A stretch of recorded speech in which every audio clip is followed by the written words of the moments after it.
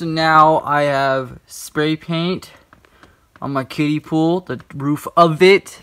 Gonna get a little bit more. I don't want to get too much because you know like, it's gonna drip or whatever. Drip with the sauce. It's gonna look cool like when I'm sleeping and I look up.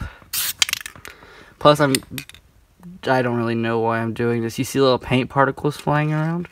Yeah.